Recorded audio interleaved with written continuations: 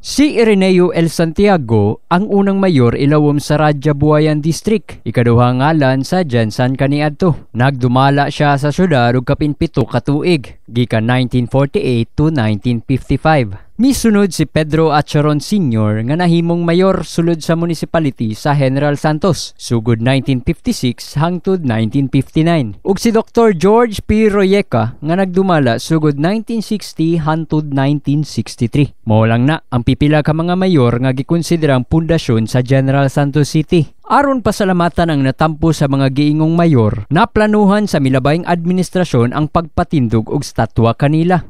Kapin 2.8 million pesos ang gigahin alang sa maong proyekto. Pero wala kini mahuman og giabado na sa kontraktor. Rason nga niaging Disyembre 12, 2020, gi-terminate sa lokal nga panggamhanan ang proyekto. Sa niaging regular session, pinaagi sa bagong miyembro sa konseho, giimbitahan ang City Engineering's Office aron matuki na ug masugdan usab ang maong proyekto. Gibutyag ni Larny Rodriguez, ang planning chief sa City Engineering's Office, nga ang bagong planado nga proyekto ilahan ang sugdan og mukabat na kini sa kapin 5,250,000 pesos nga gituyo lang para sa tulo ka mayor sa Jensan. In regards po sa founding mayors, uh, after the termination, uh, Engineer Signar directed us to uh, propose, uh, include it in the supplemental annual investment plan this year, and it was approved by IDC under Infrastructure Development Committee, then endorsed to CDC last June 2022 po. So, ito po, uh, nagkakaroon, nagkaroon na po kami ng propose, another proposals for inclusion sa supplemental AIP, uh, which is amounting to 5,250,000 Sulod sa maong plano mao ang pagkumpleto sa struktura, ang pag-landscape, ang mga electric works ug ang statwa. And the scope of works of this project to complete the terminated project is the completion of the structure and finishes, the auxiliary structures, the landscaping, the electrical works, and the statutes, ang tatlo pong statutes.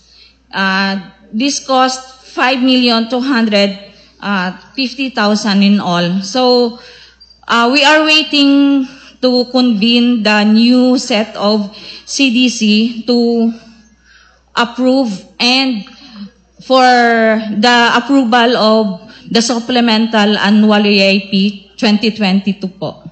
Sa pagkakaroon ginahulat na lang sa City Engineering's Office ang pag-aproba sa City Development Council. Nga sa kasamtangan wala pa nakaorganisa og City Development Council ang opisina sa Mayora. Kahibaluan na tanang proyekto nga iduso alang sa ikalambo sa syudad, kinahanglan mo agi og aprobado sa giingong council. Sa Pikas Bahin, giauhag na lang ni Vice Mayora Rosalita Nunez ang SEMSIDO nga abisuhan ang Mayora sa paghimo sa CDC.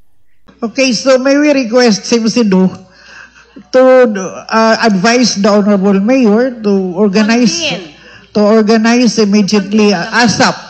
Yes. the CDC because all projects will hands on the approval of the CDC. Dugang panini, girekomenda usab sa konseho ang plano nga apilon ang unang appointed mayor sa Jansan nga si Dato Sharif Zainal Abidin. Ug tungod sa maong hilisgutanan nga angay pangtukion, igo na lang nga gilabi sa committee hearing sulod sa Committee on Tourism ang nasampit nga proyekto. J. Mercanlas, Brigada News.